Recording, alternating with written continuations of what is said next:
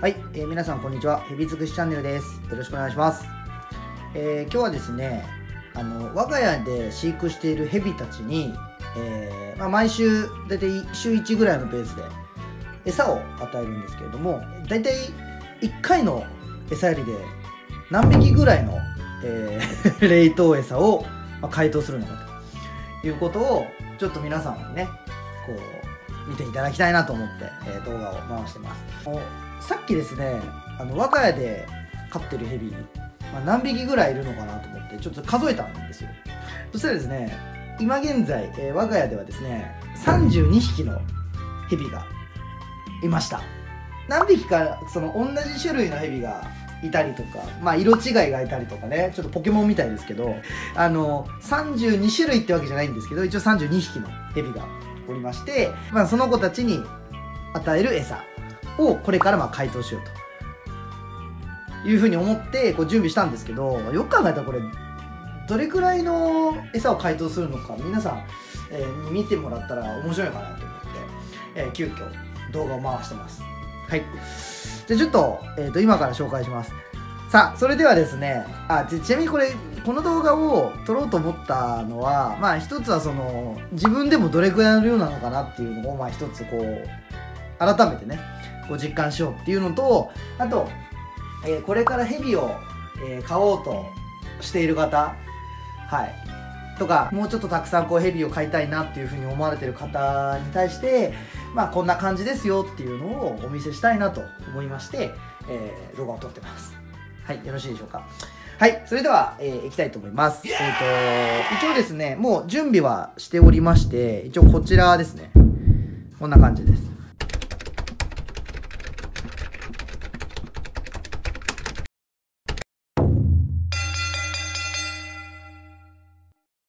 ヘビの大きさによってその使うマウスの大きさがもちろん違っています、まあ、我が家にいるヘビはですね基本的に一番大きくて、まあ、ラットを食べる。ラットの本当に多分 M とか下手したら L とかを食べるサイズのヘビが、まあ、1匹、まあ、いるんですけどね。パパンパイソンっていうヘビなんですけどはい、その子はついこの間餌入れしたばっかりなので、まあ、今回のこの餌には含めてません、はい、でそれ以外のヘビの中で一番大きいのはこのあのアダルトマウスの、まあ、L サイズっていうんですかね、まあ、大きさっていうのはまあ私の手のひらに乗せてこれぐらいのものですね、はい、を、えっと今回ですね確か10匹ぐらい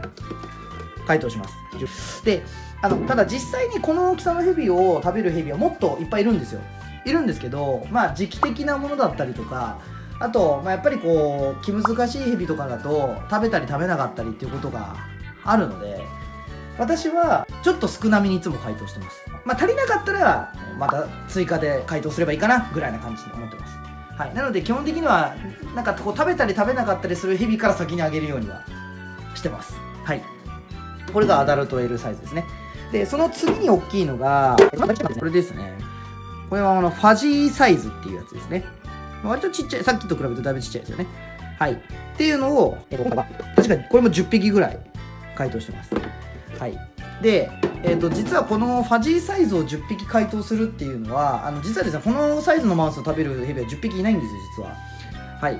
なんですけど、あの、以前、あの繁殖のために買いました。コーンスネークのブラッドレッド買いましたみたいな動画を出したと思うんですけどそのブラッドレッドに1回の、えー、休日で一応5匹ずつ、はい、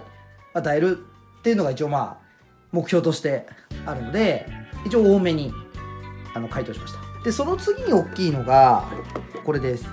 ピンクマウスの L サイズ。ピンクマウスの L サイズがえっとおそらく34匹ぐらい。はい回答しましたね。はい。であと最後に一番ちっちゃいこのピンクマウスの M サイズ、はい、これを56匹っていう感じで、はい、今回はえ解凍しようと思って用意しました。であと最後にこちらですね。